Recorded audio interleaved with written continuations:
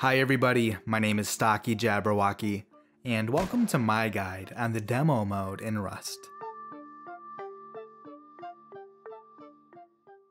Before we get started, you're going to want to make sure that you have either owner or admin privileges on the server that you're going to record from. If this might be a problem, you can actually do this for free from the Intoxicated Sandbox creative server, which I'll record this entire video from as a demonstration. To begin recording your demo, use the command record file name, such as record video 01. You can then act out your scene, do what you gotta do, and then use the command stop to stop recording. If you're recording from the Intoxicated Sandbox server, make sure that you turn off build mode when acting out your scene, or else the server's user interface will be present in your demo playback. Once you're ready to play back your demo, make sure you're not connected to a server, and then use the command play file name, such as play video 01. It'll take a minute to load everything, and then it'll drop you right into your demo. Most of your recording is going to be from the debug camera, so I highly recommend binding it to make life a little easier. Most people use P with the command bind p debug camera. On the surface, the debug camera isn't too complicated. You can use WASD to move, Q and E to ascend and descend, Shift to go fast, and Space to go slow. The arrow keys are for orientation, and you can zoom with plus and minus, or by dragging right click on the mouse. These are just the basic operating controls, and we'll get more into the camera settings and commands in a little bit. As I'm sure you've noticed, there isn't a user interface, which makes using the demo mode a little tricky. So to make everything easier, I recommend setting up a custom playback system on your keyboard instead of typing out commands for everything. Normally, you'd have to use the command demo.skip to skip forward or back, so using demo.skip1 will go forward a little, and negative 1 will go back a little. The command demo.timescale changes the playback speed, so demo.timescale1 is normal playback, 0.5 is half speed, and 0 is fully stopped. With these commands, we can set up some custom keybinds. I personally use the keys 7, 8, 9, and 0 for my playback system, but you can of course use whatever makes sense to you. But with these binds, we can use 7 to skip back, 8 to pause, 9 to play, and 0 to skip forward, which is an absolutely huge quality of life improvement.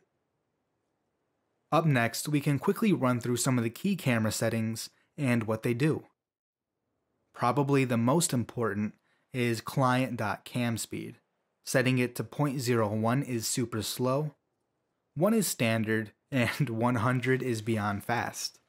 A similar setting is client.camlook speed, which affects the sensitivity of your mouse and is essentially the rate of your camera's pan and tilt.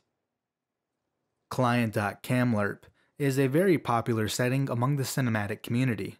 I can best describe it as a sort of smoothing effect, but the results are very dramatic and exaggerated when setting it to low settings.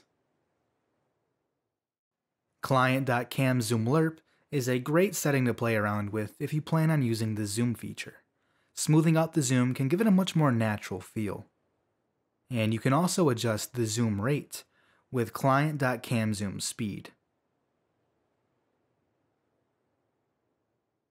Those are all of the camera settings that I like to play around with, but you can really kick things up a notch and get pretty creative when you start binding them to keys. So as an example, if you want an in-game action to affect your camera settings without having to do a cut, you can do something like this.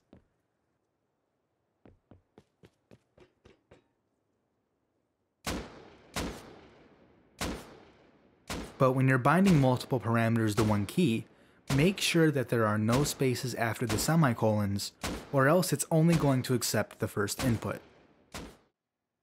Another feature that lets you get really creative is camera positions, and the commands for this are debug camera save and debug camera load. You can use these to get consistent camera positions and configurations, which is incredibly useful for when you're framing a shot or you want to save the perfect camera angle in case you might lose it. And of course, this feature gets much more powerful when you bind them to keys to make genuine camera positions within a scene. These are my binds, which allow me to save positions 1, 2, and 3 with the keys U, I, and O.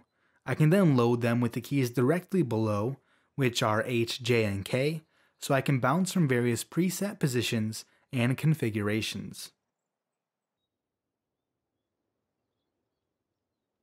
There is one major thing that I would be remiss not to mention, and that is once your demo ends, you cannot replay or rewind it. It's pretty much stuck in this permanent stop mode, and I have not been able to find any workarounds for this yet, other than simply disconnecting and restarting the demo so I usually pad the end of my recordings with some spare footage and a cue so that way I have time to skip back before it ends. That's pretty much all I have for this video. On the screen is all of my keybinds that I've mentioned, and I'm also going to create a table of contents for easy copy and pasting. This entire video was recorded from the Intoxicated Sandbox server, and I'll also leave a link to another one of my videos where I showcase the features that they have to offer.